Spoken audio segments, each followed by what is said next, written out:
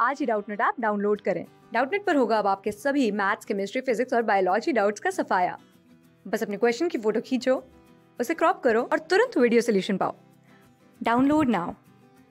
यहाँ पर हमसे पूछा गया है कि बैक्टीरियन कैमल और अरेबियन कैमल के बीच में मेनली फ़र्क क्या होता है? तो हम देखते हैं, कैमलस नाम के जीनस में हम कैमल्स को प्लेस करते हैं और इसमें मेनली तीन स्पीशीज़ होती हैं।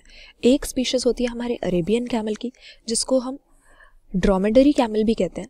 और कैमिलस ड्रोमेडेरियस, इसका साइंटिफिक नेम होता है, जबकि बाकी दो स्पीशीज बैक्टीरियन कैमल की होती हैं। एक नॉर्मल बैक्टीरियन कैमल दूसरा वाइल्ड बैक्टीरियन कैमल और इसकी स्पीशीज नेम होता है कैमिलस बैक्टीरियनस इन दोनों में फ़र्क मेनली हम ये देखते हैं कि अगर इनकी बॉडी को ऑब्ज़र्व करें तो ड्रोमेडरी कैमल के पास एक सिंगल हम्प प्रेजेंट होता है, जैसा कि हम यहाँ पर देख रहे हैं, जबकि हमारे अरेबियन कैमल्स के पास दो हम्प होंगे।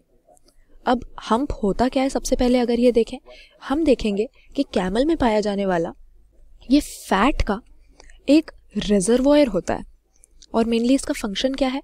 क्योंकि कैमल्स जनरली हॉट क्लाइमेट में रहते हैं डेजर्ट में रहते हुए पाए जाते हैं।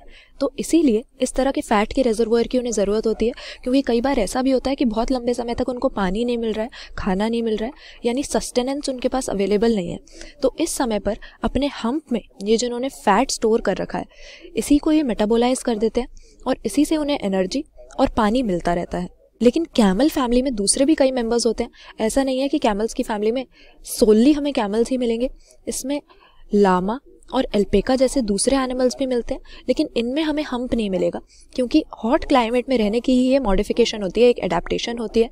एक तो जब खाना नहीं मिलता तो ये इसको मेटाबोलाइज करके अपने लिए पानी ऑप्टेन कर लेते हैं एनर्जी ऑप्टेन कर लेते हैं।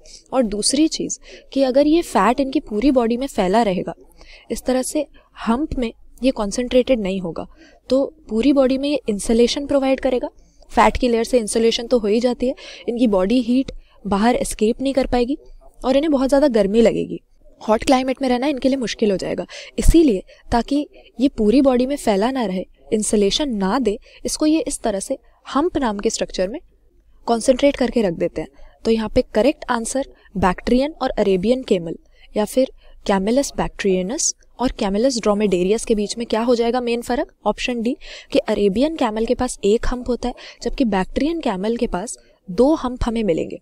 हालाँकि हम वन हम्प वाले कैमल को ही ड्रोमेडरी कैमल को ही ज़्यादातर जानते हैं, क्योंकि कैमल्स की चौरानवे परसेंट पॉपुलेशन 94 परसेंट पॉपुलेशन इन्हीं की बनी हुई होती है, और बाकी जो रिमेनिंग है, सिर्फ़ वही बैक्टीरियन कैमल्स होते हैं।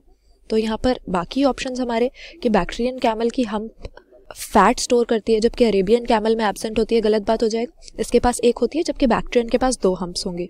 उसी तरह से लिखा है कि स्टमक फोर चेम्बर्ड होगा। तो कैमल को रूमिनेंट्स के अंदर हम नहीं डालते ट्रू रूमिनेंट इसको नहीं कह सकते, और इसीलिए इस तरह के चार चेम्बर कैमल के स्टमक में प्रेजेंट नहीं होंगे, जो हमें रूमिनेंट्स में मिलते हैं। फिर लिखा है कि थ्री डिजिट्स होंगी तो ये भी इन दोनों कैमल्स के बीच में डिस्टिंक्शन नहीं होगी। इनके हम्प के बेसिस पे ही बेसिकली हम कैमल्स की ये दो डिफरेंट स्पीशीज को डिस्टिंग्विश कर सकते हैं। तो यहाँ पर ऑप्शन डी सही आंसर मार्क कर देंगे। क्लास सिक्स से ट्वेल्थ से लेके NEET I I T JEE Mains और एडवांस के लेवल तक, दस मिलियन से ज़्यादा स्टूडेंट्स का भरोसा।